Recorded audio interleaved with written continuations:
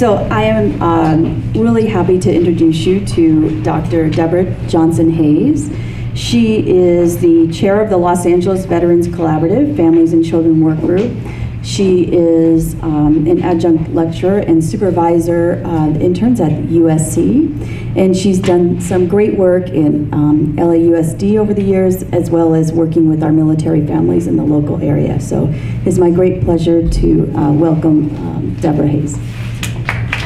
It's my pleasure to be here and certainly to hear of such a, a diverse working group that you, you have uh, uh, managed here. This is great. Uh, I also was, as the lady in the back there, retired, but I think I need an intervention.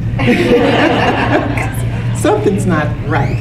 but no, um, once a social worker, always a social worker for life, right? And we keep mentoring and giving back and learning, and that's exactly what I'm, I'm having the time of my life doing at this point in time. Um, it's my pleasure to be able to talk with you about military-connected families uh, in relationship to family violence and uh, abuse and neglect and domestic violence.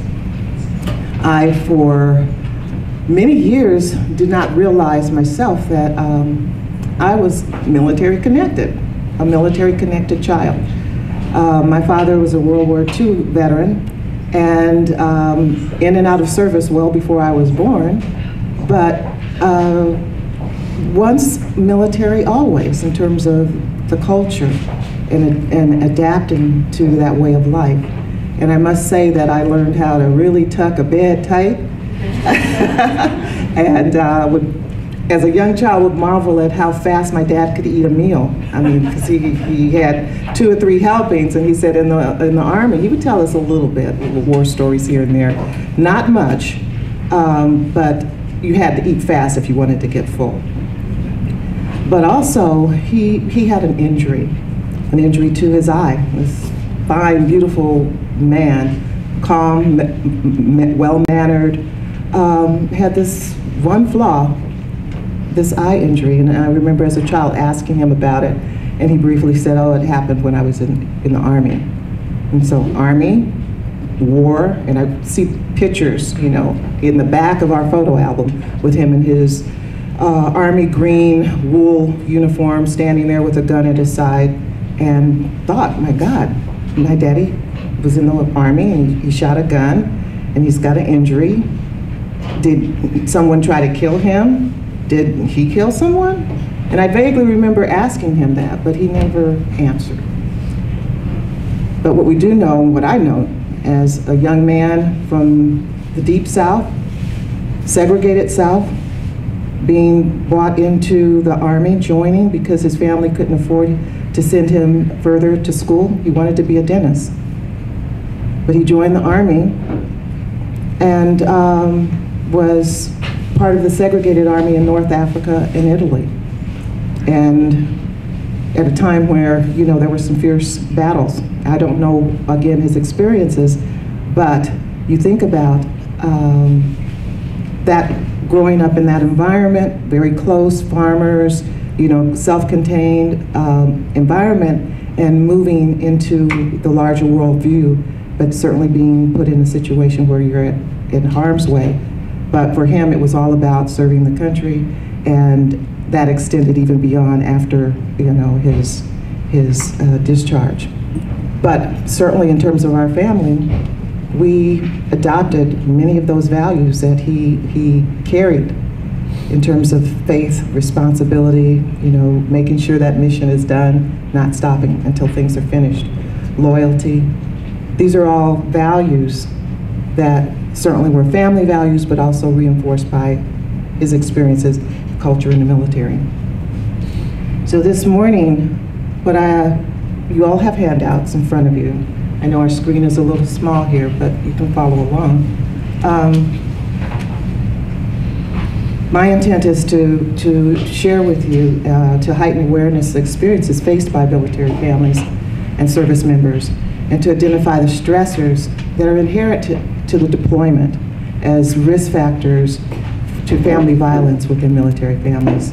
But we also want to talk about the resiliency and those protective factors that uh, are inherent within our military family structure, and looking at that in terms of implications for supportive intervention. How many uh, of you are military, have served, veterans? Paul? Anyone else? Well, thank you, Paul, absolutely for your service. How many of you are connected in terms of being part of a military family? Wife, spouse, son, or daughter? Okay. We also thank you for your service. We know full that when um, the Army or Navy, Air Force, Coast Guard, any of our armed services calls on our men and women to serve, that their families also serve in many, many ways and continues to serve post-discharge. 9/11, that's a day marked in certainly our, our minds forever. 9/11, September 2001, the terrorist attacks on uh, the Twin Towers in New York. As a result of that one act, we have had over two and a half million service members that were deployed to Afghanistan and Iraq. From that one act, it's changed really the course of history. We're still at war, going on 14, 15 years of constant battle, constant exchange. But what's been different is that we've had multiple deployments, not just once, not just twice. We have reports of individuals being deployed five, six, eight, ten times in the course of these last 14 years. So why, why do people join? Why do you, why do they join the, the armed services? In this instance, with 9/11, we had uh, folks that really felt, you know, we need to get them. This is not okay. So that sense of patriotism, that sense of pride, wanting to pay back for a wrong in terms of our country. But just historically, people have joined the service for adventure, for travel, um, to develop some self-discipline, to learn a skill, as my dad learned, he learned uh, to not be a dentist, but to be a, master mechanic, um, to earn a steady income. We have a lot of folks in our community certainly uh, dealing with unemployment issues and not being able to find a steady job or find a job that is, can pay uh, to support family needs or supplement family needs. It, many of our men and women are coming from, you know, lower income um, um, families and joining, certainly for benefits, educational opportunities. Uh, and for many of us, there's a tradition of service within the families. Mom or dad served, grandfather, goes back generations. And so it's just a, a common occurrence that yes, you are, we do serve. This is part of what we do, we give back. And then there's those that also are leaving their community because they're not wanting to get into any more trouble and feel again that self-discipline that the armed services would be able to provide them is would would uh, be helpful. So there are many reasons why individuals join. But here, um, in terms of the United States active duty, we have uh, at this point close to over 1.4 million. Um, we for the last year and a half, we're talking about a drawdown in our service, and certainly many service members are being discharged or are certainly being returned home. But I think we ask, you know, the question for how long, because I know uh, most recently we're seeing a surge in individuals being redeployed. Um, we have over 2.21.6 million veterans in the uh, United States. So that's, you know, a sizable, sizable um, number of individuals who have put their lives on the line, put their lives on hold in order to serve the country. And along with that, we cannot forget, again, the families. Females comprise about almost 230,000 uh, members of the service. so it's about 15%. Um, and overall, veterans are about 18% are in the Guard and Reserve. That's a population here in Southern California that we really need to focus in on because it's not like we're in San Francisco or San Diego and we have a large population of active duty. Um, we do have active duty, but many of them are Guard and Reserve. And those are the families that most often uh, we forget about. And certainly that they don't necessarily always identify as being uh, military connected, military related. You know, they're still in the community. They have their identity as a doctor, an attorney, um, school teacher, mechanic. They have their identities, they have their, their work life, their business, and they have been what we call our citizen soldiers. Uh, but again, during this course of war, these last 14 years, really last 10 years, we've seen an upsurge of our use of our Guard and Reserve. Okay. Welcome to California. California hosts the largest population of veterans. Uh, we have 168,000 within the state. Uh, of those, there are about 20,000 homeless veterans within LA County. We'll get a closer uh, closer understanding in terms of uh, the homeless veterans uh, as a result of our recent uh, veteran survey that uh, was completed just last week. Of that, we have about 2 million children under the age of two years.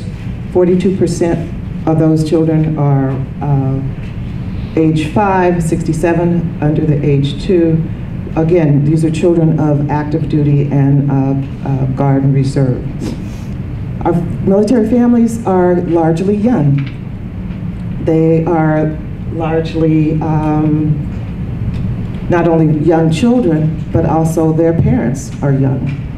18 to 24 age group, 24 to about 35 uh, years old, they host the largest number of, of children. You can see, I'll show you a slide that depicts that uh, a little more clearly. But uh, so we have close to 40, 60% children of active duty are under the age of 12.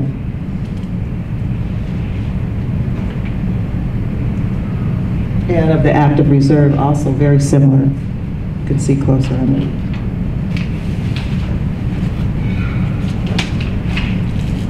Here in California, or in Los Angeles County, that next slide uh, identifies in terms of active duty uh, Guard and Reserve, the numbers of children that we have here in LA County uh, based on their age 0 to 5, 6 to 12, and 13 to 18. Again, this is just active duty. We're looking at for a about 11,000 children in LA County. We're not talking about Orange County or Ventura, but within just LA County have active uh, duty parents. But who knows how many parents uh, how many children we have in the county that are of veterans, OIF, OEF, or who in are in veteran families, living with caregivers, grandparents, who may also be veterans, uh, going back to uh, Vietnam Desert Storm area as well. So these families we know are certainly families that potentially are vulnerable due to um, their, their service. And I would like to talk right now about the deployment process. What is deployment? You know, deployment is a movement of an individual or military unit from one location to another, again, to accomplish a mission. What is that mission? It could be a number of things. It could be uh, mobilization, it could be just a support, it could be deployment for training cycles, humanitarian missions. We've had many floods and earthquake disasters that our Guard and Reserve have, uh, California Guard have certainly um, been deployed to support throughout the world. There are peacekeeping activities and certainly there is combat. As I said earlier, the frequency of deployment has um, been increased since the 9-11. Um, and with that, there are unique challenges for our service members as a result of that uh, being called up for duty. Certainly there's, there's, there's anxiety, number one. concern for safety, one's own safety, concern for their family. How are they going to handle this deployment? If this is the first deployment, or maybe it's the sixth deployment. Um, the length of time, you know, how long will I be deployed? Will it be for six months? For 12 months? Uh, gosh, we just had a baby. Not going to be able to see my child for another 12 months. And when I talk about see, see your child in terms of being with them. Certainly with technology, our families are more connected and in terms of their deployed service members.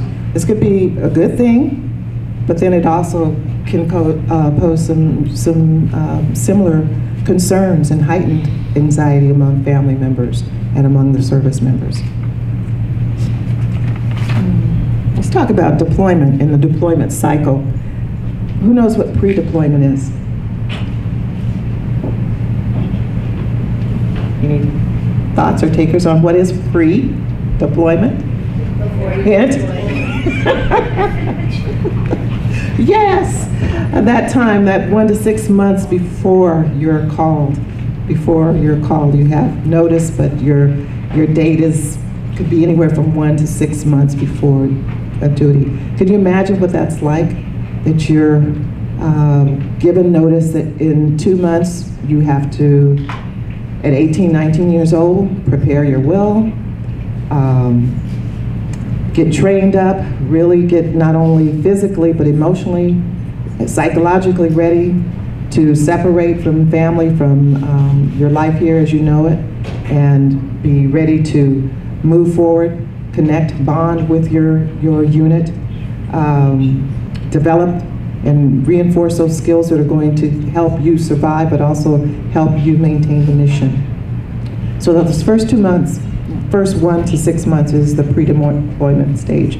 The next stage is the actual deployment, and I know we've seen a lot of uh, footage, film, and some of you may have even experienced friends and family members who've deployed going that last step with them, saying those goodbyes, seeing them with their unit in full uniform, picking up their heavy bags and their guns, and getting on that bus or getting on that plane or getting on that boat. And that is um, very emotional, very difficult time for many families, that letting go. But that deployment starts at that point and really um, those first months after are the time for transition and time for rebalance within the family as a unit. There certainly are changes in roles, not only for the spouse, but for the children. So we give it another two months of deployment. The next phase is sustainment. That's when the family kind of is right in sync. Everyone, we know what we have to do. Mommy's not here, or daddy's not here, we each know what we have to do. And that sustainment period for many is like, well, you know, this is the way it's going to be. And um, as tough it is as it can be for many, uh, finding some balance during that period of time is, is can be difficult. Uh, certainly in a situation when you don't have support, support within your immediate community. Homecoming, redeployment is called homecoming. And that's a time where, you know, you're so excited, as well as your service members excited to be home, to come back. Um, some come back for extended time. Some may come back just for a couple of weeks and then be returned back to theater, returned back to their assignment. Um, reunions, you think certainly, yes, it's great.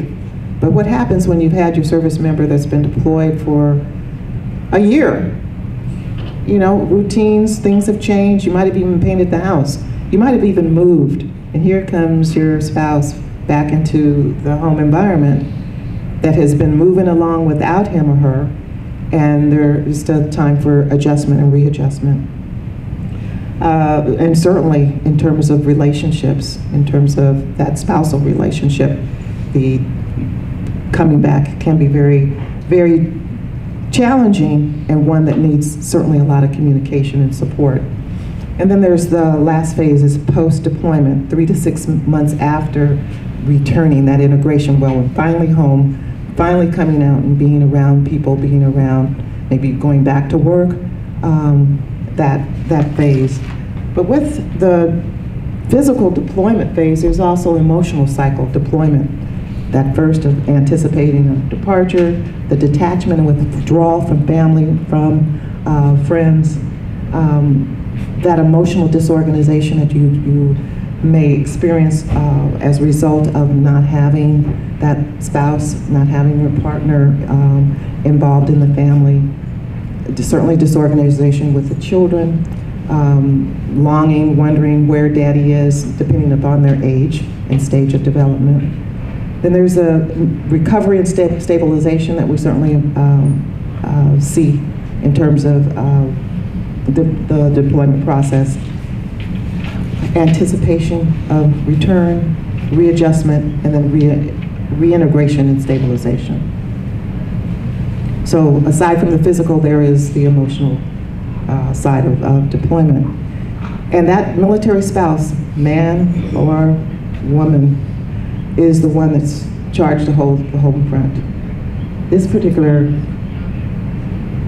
uh, bracelet here says, his, he swore to protect his country, I swore to protect his heart. And for the military spouse, they take their role very seriously, to hold up the home front, to reinforce family values, to keep things going, to set an example. And these are things that are expected, to protect what's home, protect their children, protect their, their uh, stake in, in the family. Military spouses, there's an extreme, sense of strength, responsibility, loyalty. And in terms of readiness, uh, the readiness for the service member, the family also, uh, service understands and sees that the family also must be ready. But what happens when you have an 18-year-old spouse, just out of high school, both of you, and from some little town in Midwest, um, and that get married right out of high school and uproot, and you find yourself in Camp Pendleton, and six months later, your honeymoon is over because your uh, your husband is being deployed or your, your wife is being deployed. And so here you are from totally uh, uh, uh, environment, totally different from now that you're, you're. Left in, there's a sense of, of isolation, sense of uh, disorganization, and certainly often difficulties that come along with that that we see. Um, and then families need support. Young families need support. This next slide I like says, I survived IEDs, RPGs, attacks, and extreme living conditions. Yeah? Well, I raised both our kids for a year by myself. And he says, you win. You know, it's not an easy job and the impact that we have uh, on the military spouse deployment involves a lot. You know, there is certainly with the anxiety and the depression uh, that goes with having a loved one in, not just gone, but potentially gone in harm's way depending upon their uh, duties. It leaves a lot of, of, of emotional impact upon the spouse, but then also it impacts the children. We see higher levels of emotional difficulties with children who have a, a, a parent that's deployed. This is not necessarily a question that the school is asking. You know, when you see a spike in a behavior problem, whether it's acting out or withdrawal. It's not one that typically is asked, and certainly we encourage you to start asking the question, uh, is this a military connected family? We're also encouraging our, our uh, spouses to let uh, those working with children and family know if, in fact, a family member is being deployed. Um, some instances, it's not really something they want people to know because of family safety or maybe because of the mission that the service member has is, is uh, very confidential. But it does have an impact on children. This next slide, over in the corner, you'll see a little girl with um, her dad this little girl, I remember seeing her on TV because they, they brought her on one of the local news channels after her father was deployed. She was only four years old. And this was the second deployment that she had experienced with her dad. And they, you know, proud, you know, to have him serve, proud to, to see him off. But she would not let him go. Four people tried to pull her away from him when it was time for him to line up with his unit and, and get on, on the uh, bus. So what did dad do in his good sense? He let her come with him. She held his hand and she let him go on her own time. But it was just really poignant to see and know that we are tearing the hearts, tearing the hearts away from the young children, and they have a sense of not control over uh, what is happening. And in this one instance, his father just used his daddy sense and said, you know what, let her line up, and it's part of a ritual, and let go uh, on her own time. And she did. And she was able to talk about it uh, and talk about the experience of being there with the rest of the men and women too. But it was on her own time that she was able to let go. Our children don't all have that, that luxury. Daddy or mom may be gone in the middle of the night while they're asleep. And again, you know, think about the impact of that. Certainly there are fears, there's worries about the family member's safety. Um, again, we talked about changes in relationships, and there certainly also may be possible relocation of the family member. You have a, a family member that's left behind that may have a child that has special needs. They may have several children that they can't adequately uh, uh, take care of and have family elsewhere that say, come, you know, while he's away, you know, come home. And so the family may be, be uprooted as a result of that. Are overwhelming emotions of grief, loss, anxiety, anger, confusion, sadness.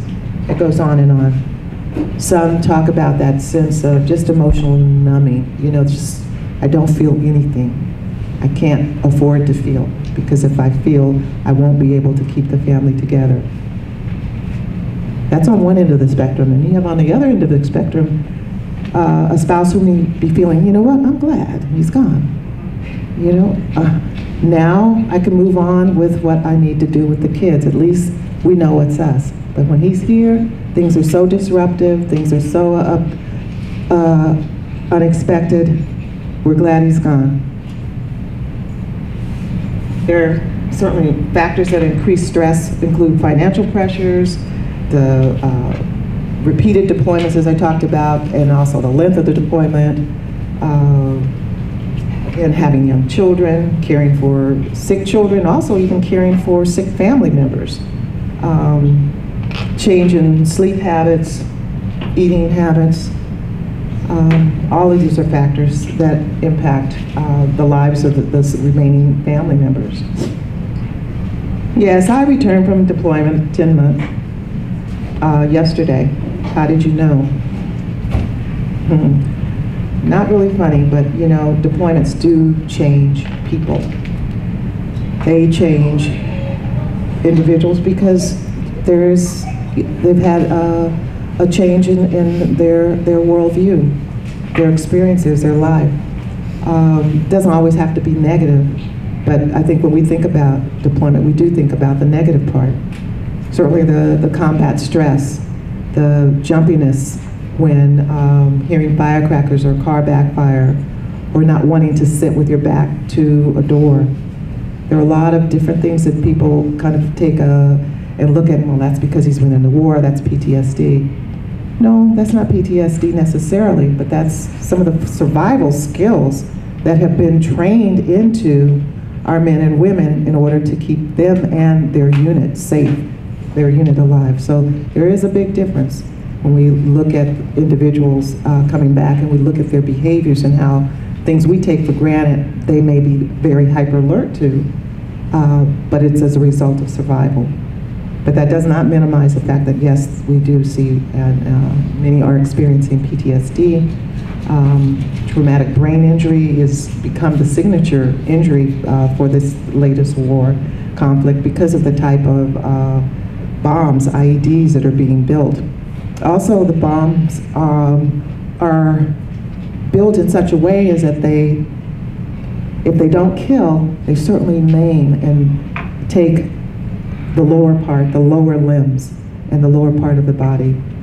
So we have many, many uh, individuals that are having amputations as a result of that, muscular skeletal injuries, back injuries. You can imagine um, carrying on a day-to-day those that, uh, vets in combat 80, 90 pound um, backpacks with materials, with all of their essentials on a daily basis for hours and hours and hours uh, without stop. And then there's the issue of uh, substance abuse, alcohol abuse, smoking um, that we see.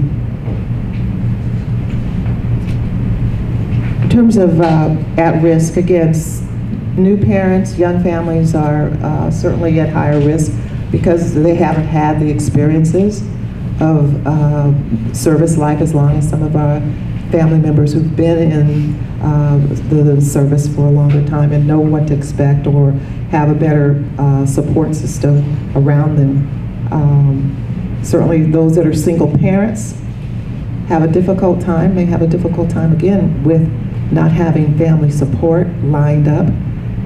For a single parent before deployment, they have to have a child care plan. And sometimes those child care plans fall through, and if so, there's no one to take care of your child. Your child will be placed in foster care. And if you refuse to go, you, that you as a service member may certainly end up, you know, in the brig or being dishonorably discharged. In our community here, um, I've seen a lot of relative caregivers that are caring for um, their uh, service member uh, relatives' children. That's also an arrangement, but that's again something that we need to, to inquire and, and ask about because uh, the child that's being cared for, grandmother or grandfather or aunt or uncle, they may not even have had a, a strong relationship with that individual before having to be connected with them, and vice versa. So that too also can uh, pose some concerns and risk, you know, within the family. The idea of mission readiness and family readiness is one that certainly is continuing to be pounded by our armed services in terms of being able to really focus on the needs of the family, not just of the service members now. There are many organizations, uh, uh, family readiness groups, uh, uh, fleet and family readiness. There are uh, many groups on base that are providing support um, and um, within our different installations. But again, in terms of our community, I think it's our responsibility to, as you're doing today, to train up, to understand military culture, understand how it impacts on that child and family, so that we can be ready and able to support these families, whether they're in the schools, whether they come to the hospital, they're in a clinic, uh, uh, uh, however you're providing services for them, it's important that we, we are ready and understand their language, and understand their values and their culture. Okay, risk factors. Of course, we know risk factors in terms of family violence, um, the relationship problems, financial problems, mental health, uh, the exposure or experiencing of traumatic events, um, previous physical, sexual, emotional abuse. These are all certainly risk factors that carry from generation to generation. But in terms of our service members, they have not only uh, the risk factors as I've just identified, but other risk factors that uh, put a family at, at risk include, a military family at risk, include the length of the deployments, the number of deployments, the mental health history, not only of the service member, but of the spouse that's remaining at home, the children, any history of aggressive or violent behavior, again, exposure to traumatic events, and we know with war, with many of our, our uh, service members, there is a higher risk for exposure. Um, any prior history of substance abuse or self-medicating, um, certainly is something to, to be in, uh, taken into consideration. But the other hand, too, is in uh, theater, there is a high anxiety, a lot. Um, and you can not even imagine what some of our men and women are dealing with. If there are uh, problems, there's the medic. The medic, you know, provides the dispensing of, of medication to help alleviate uh, anxiety, to support attention, focus in theater. And so we have some servicemen and women coming back on medication, having taken medication for various uh, issues and, that they were having uh, during their deployment, and may not maintain the, the level or may even um, abuse the prescription drugs that they were given in, uh, here once they get home. So that may also be an, an issue. Access to weapons. Also with service members, um, they know how to use them. They know how to handle them. They are locked and loaded at all times for personal safety.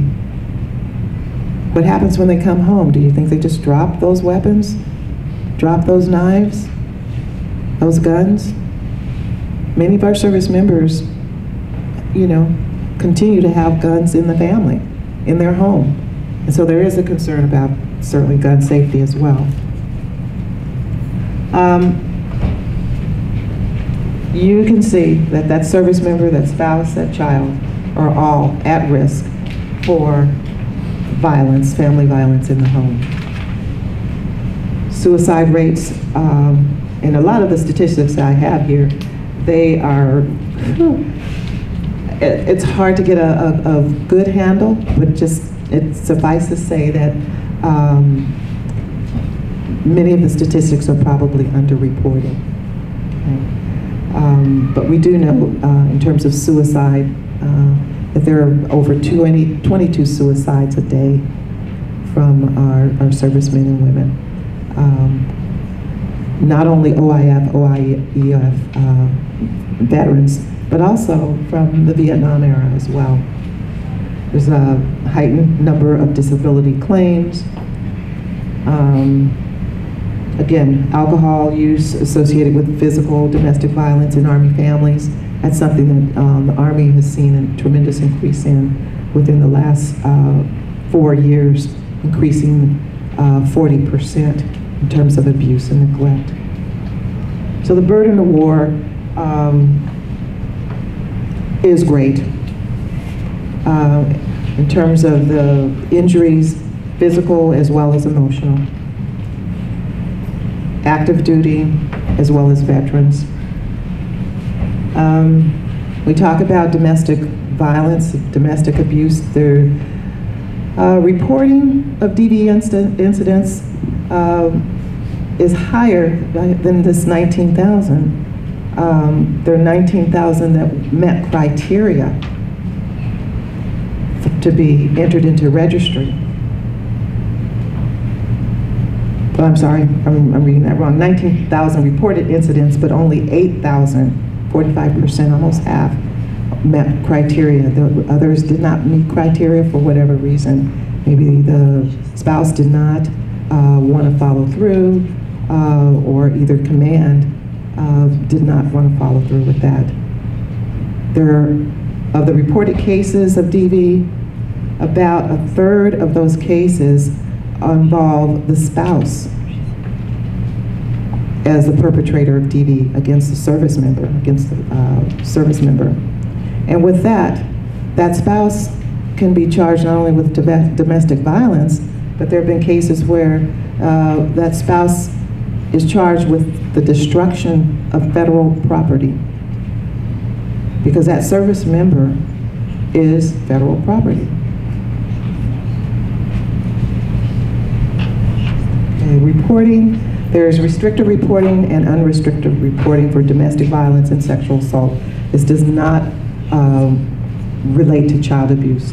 With child abuse cases, there is no um, unrestricted reporting.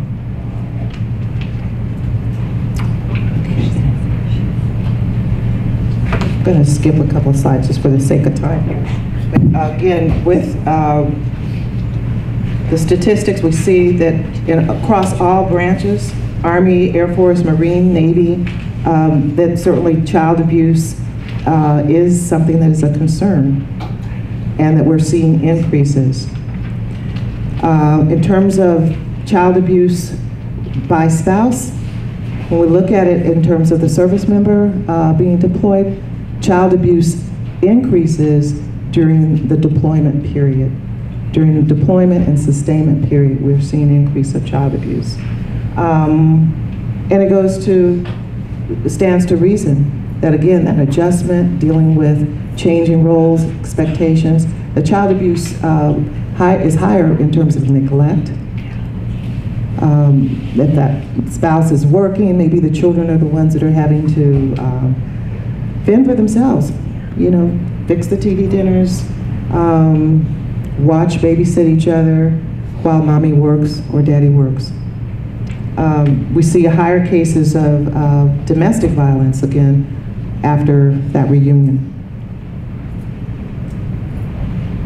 And so why uh, is family violence uh, impacting family ready, uh, military readiness? Um, and why is it not necessarily reported uh, in a way that is uh, in a way that is in terms of the statistics you know why is it not reported uh, the command may not deal with it uh, in terms of their uh, deal with the charges. They may, you know, dismiss it, not see it as something that's uh, you really don't want to ruin your husband's career. From that perspective, understanding that you know the charge of child abuse or domestic violence is going to totally change that family structure. That individual, if he is uh, charged and, uh, and, uh, domestic violence is found, may uh, be discharged. So there's a financial issue. There are a lot of other issues as well that uh, self-reporting may not be reliable. Um, if they are charged, the spouse, the victim, may be asked to, to leave. If it's base housing, certainly that's an issue. There may be jurisdiction issues. You know, the violence happened in one uh, county the family lives in another state now. Maybe jurisdiction issues.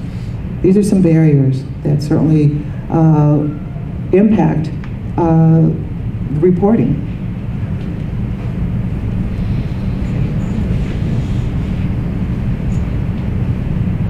Talk about resilience. Resilience is the ability to function effectively and grow in the face of adversity and challenge, and the lack of discomfort and of not returning to the way we used to be, but living in the new normal. Our military families are living in the new normal. And although I spent a lot of time talking and detailing a lot of the negatives, a lot of the difficulties that our military families face, one of the one of the things that we can say about military families is that they are resilient. In spite of, again, the negative picture that's painted, it's important for us to understand that and to adapt a strength-based approach as we work with our families in the military. By just the nature of the culture, what military families uh, uh, are trained or reinforced, their values, uh, the sense of duty not only for the service member that extends to the family, that we are supporting mom or dad by being patriotic, by being loyal, by, uh, so to speak, toeing the line, doing the right thing, being adaptable. This is a time that we have to, to serve. Daddy's serving, family is serving. So that those values are transmitted to the family through the spouse, but also just through the organization that they belong to themselves. The respect for authority, um, being self-sufficient. We don't need to lean on anyone. We can handle it ourselves. On one hand, this is great, but on the other hand, too, it's important for us to know that, that there are times when that self-sufficiency needs connection from the community, needs support from the community.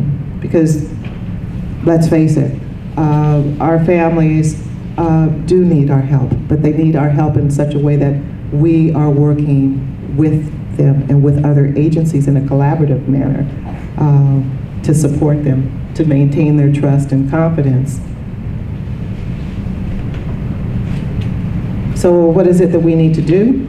we certainly as a uh, group, as a unit, need to come together, just like you are, to train up, to not let this be the first or the last time that you talk about military uh, children and families and what their needs are, and thinking about from the perspective of understanding military culture, how does that connect with the services you provide? How does that connect with your ability to engage and outreach to military families? To identify from your current caseloads who's military, who isn't, and what, and ask yourself what specific concerns that family may have as a result of being military that uh, impact their family function and their well-being and their support. So it's important that we, we take a preventative approach, that we build our own military competency. It's something that I do ongoing. Um, classes here, classes there, online, discussions with my peers. Uh, all of this helps to, to build and reinforce an understanding, so I think that is really important that we do. Uh, again, approaching our, our families from a strength-based approach, not from the deficit or the weaknesses or all the things that are going wrong, but really, how is it that this mom or this dad has been able to manage um, the care of their children? Uh, yes, there might be some difficulties uh, in terms of communication, but again, looking at how you can support that, support that through some of the evidence-based practices that we are exposed to now terms of parenting support. That is key among military families that are in crisis, providing alternatives to violence, helping them to learn different ways to communicate with their children, with each other, and also helping the children learn ways to communicate more effectively with their family. Um, how many of you know about the FOCUS program out of UCLA? Just a couple. Oh boy. Okay, let's start there. You know, the resiliency training, um, they help families uh, to learn to communicate with each other, uh, but also help individuals in, within the family to recognize how they're feeling, their stress levels, how the communication, interaction with each other. If they're in the green, they're good. If they're in the yellow, they're, you know, having some problems or issues, or I have a, a, a funny feeling that I need help. Or if they're in their red, they're absolutely, you know, a communication blocker.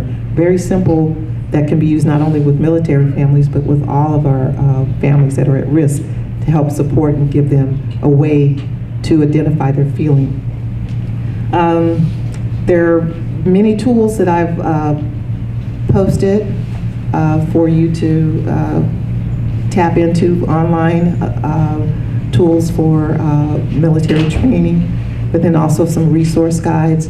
There are a tremendous number of links to social emotional toolkits, things that you can use directly and take in um, creatively use with your, your children and your families. In terms of domestic violence uh, intervention, those of you that are working specifically with uh, couples or with individuals with domestic uh, violence issues, we you know know for sure that you use your common sense, you use your best practices, but also add to that again the understanding of where that individual, uh, whether it's the perpetrator or the uh, spouse, where their mindset is based on their experiences and based on their culture within the military. I leave now a few minutes for additional questions. Yes, sir. Yeah, um, two or three years ago, I read that the Army wanted, was starting a pilot project um, making access to initial assessments for crit critical incident debriefing to identify, make it easier to help identify those kids that are like in the Midwest and having trouble getting in to see somebody. So they were doing initial assessments on Skype, trying to at least make that initial assessment, identify kids that are high risk so that they could mobilize resources for them. Um, do you know if that is still going on, or the Skype uh, assessment program? Specifically, I, uh, the assessment program, I'm not familiar with that, but I do know that uh, there is an upsurge in acceptance by clinicians to using telehealth, um, to using Skype, to using uh, apps and other uh, technology in order to support um, not only the identification, but uh, to support the interventions with individuals. So what you're saying is an increase in professionals that are willing to use this guy. Yes. Do, do we know if there's an increase in, uh, the military to utilize those resources, or we don't know? Do you know that? Absolutely, the military is util- utilizing it. I mean, um, usually utilizing resources Yeah. to, to can make those connections with the, with the family. We have uh, military family life consultants um, who are, in terms of working uh, directly with uh, families as well as with uh, service members, even coming out of theater, um, they are able to Skype and call and um, get immediate help. Um, it's part of our moving towards, you know, and accepting technology as a, a, an adaptable way to, to provide support and service. I still like the face-to-face, but, you know, we're seeing and it's showing that the telehealth, telehealth is, is uh, helping. the, the, the desire for these guys and gals to, uh, be self-reliant. So going, actually going in to a facility makes that just that much more difficult. That was the idea, at least, behind what I was reading and creating that Skype initial contact. Um, as- Aside from access, yes, access is important, and also confidentiality too. Um, Not wanting to be seen going into the door in the back that's labeled mental health, you know, uh, and certainly that goes for the children and the families too. Not wanting to be labeled, oh, that's a military kid, you know, we know he's gonna have problems. Um, But to be able to understand and better meet the needs and support that military child and family is, is really what our concern is. Um, At USC, we have, uh, uh, within our School of Social Work, a concentration, uh, military concentration, that our second-year students uh, who choose go through, and the specific training around military culture, uh, family, substance abuse, uh, mental health issues, in depth, as well as they have field placement uh, within a, a organization that's serving military or veterans and veteran families. In addition to that, we have the Center for Innovation and Research on military uh, veterans and their families, and that also is listed in your guide. And that particular uh, segment of uh, the uh, school offers training in addition to research. Uh, as a matter of fact, tomorrow there's an all-day training on uh, uh, sexual issues uh, as a result of some of the injuries, uh, TBI, PTSD, and amputations. So there's ongoing opportunity, yes. Could you describe a little more what the support looks like for the families, you know, that are there waiting or when the military, active military comes back after deployment? Well, um, there are a lot of different activities and support, but I think utilization of those activities is something that I've seen um, um, that's less than what we would see if we were a, a community where we had a, a base. Again, um, many of our families don't identify as military, but there's the yellow ribbon uh, activities for uh, families when their service member is deployed.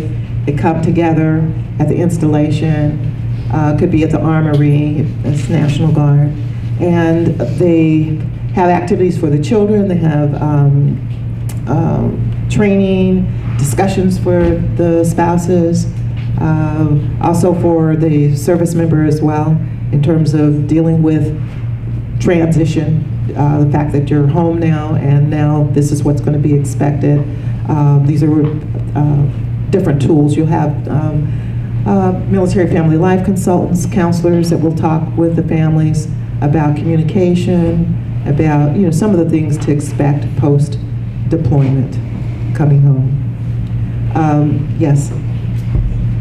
So, um, given that the increase of child abuse during the time that the service uh, person is deployed is so high, mean, 40%. What kind of preventative services, and I hear that some of the services are underutilized because it's voluntary, but what kind of preventative services does the military, I guess, um, do they have some type of program where they visit the home? I mean, some of those groups are kind of, you know, um, with other members, they, that might be, and to get somebody out of their home to do that when maybe they're overwhelmed or maybe even depressed or Right, is, right, is exactly. There, there are some intervention programs, there's like new parent support for uh, families that have been identified as being at higher risk. Um, Many are utilizing that, and it it is an in-home support. Um, We have some agencies that are uh, providing also that in-home support.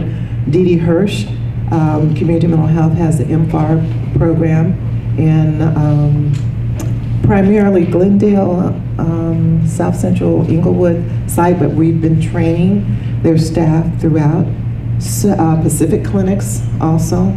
So I think now we're seeing more and more mental health agencies wanting to step out and work with that specific population.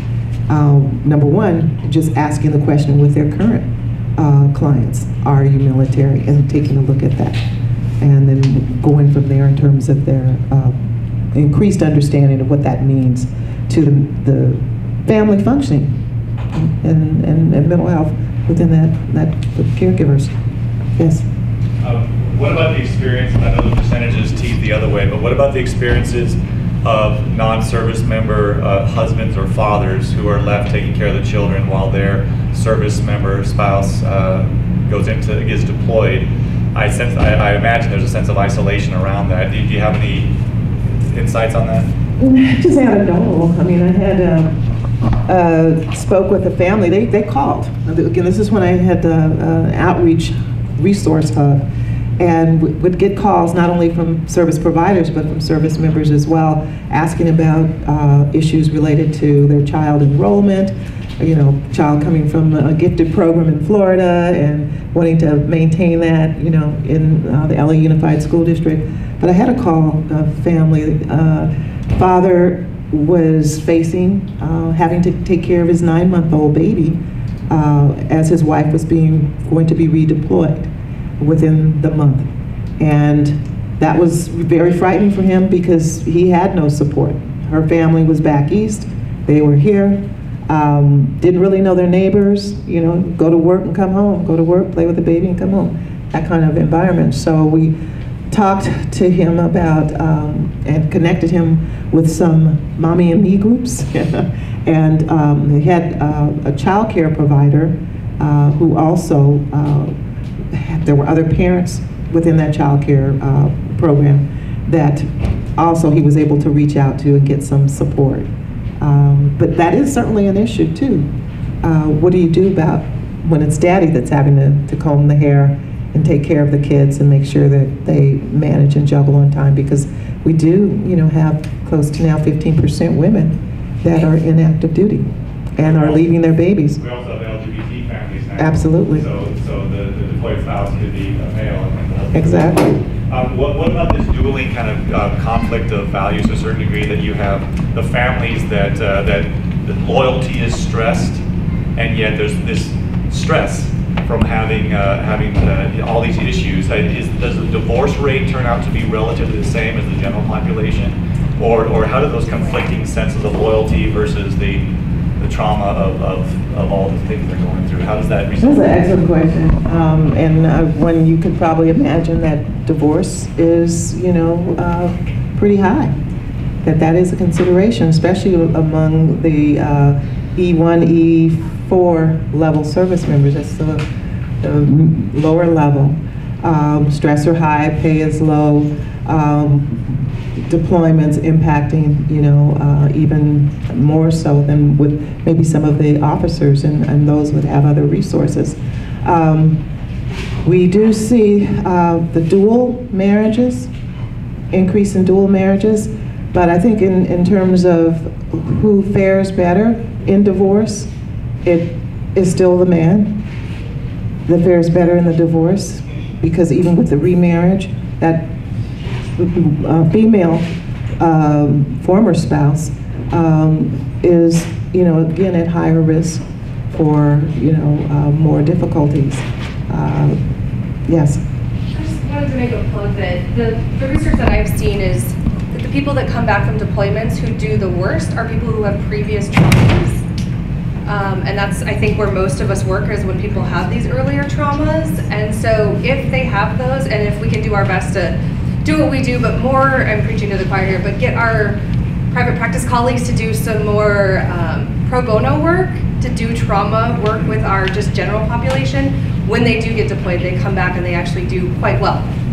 Um, Only about 25% of returning soldiers actually have PTSD. When they come back, they're profoundly impacted and the suicide rate is high. But three-fourths of them are great and they're better community members. And so I think it underscores the importance of the trauma work that we do every single day um, because the resilience is so high when they do well. Absolutely. One of the things, though, we are, have noticed that, that in the early years of uh, post 9/11, um, because we are volunteer army, our, our numbers were low. And so people that would ordinarily not be accepted because maybe they had a low-level crime um, or they had, you know, some um, passable mental health issues, uh, they were allowed in to service. So you have people that um, probably had a lot more, were not screened as if it was, you know, um, um, it it was screened as if a volunteer army versus uh, enlistment. So we have people that had multiple traumas. There have been reports of gang members and tagging in Afghanistan. Yes. Um, When there's domestic violence or sexual assault, and you said that it's just reported as restricted to the FAP, what are the kind of consequences for that when it's confidential reporting?